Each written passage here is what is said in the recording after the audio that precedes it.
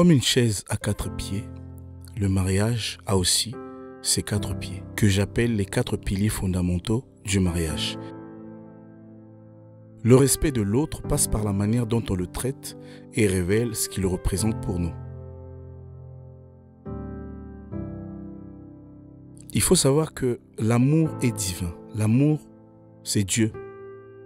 Et Dieu nous demande de nous aimer les uns les autres. Aime ton prochain comme tu t'aimes toi-même. Tu ne peux pas aimer l'autre si toi-même tu ne t'aimes pas. Donc celui qui ne t'aime pas, en réalité, il ne s'aime pas lui-même. Et dans le mariage, on devient un. On forme un.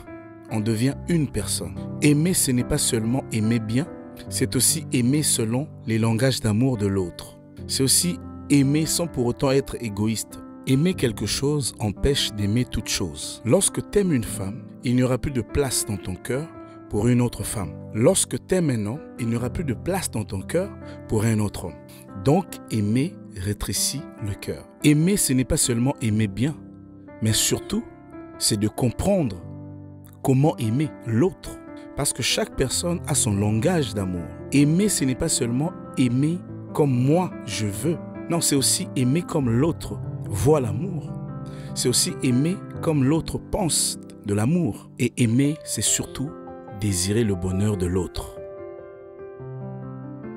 Faire confiance, c'est se sentir en sécurité. Sans la confiance, on souffre. Sans la confiance, on devient tout le temps inquiet. Sans la confiance, on devient parano. Sans la confiance, on ne savoure pas vraiment l'amour. Le manque de confiance détruit et empoisonne plusieurs couples. Et lorsque l'amour est mutuel, il n'y a plus de place pour la méfiance. Pour qu'un couple dure, il faut apprendre à pardonner. Celui qui aime pardonne, parce que tout homme est faillible. L'amour se mesure par notre capacité de pardonner. Car pour qu'un couple dure, il faut apprendre à pardonner. Voltaire a dit ceci. Aimer la vérité, mais pardonner l'erreur. Celui qui pardonne peu, aime peu. Que Dieu vous bénisse.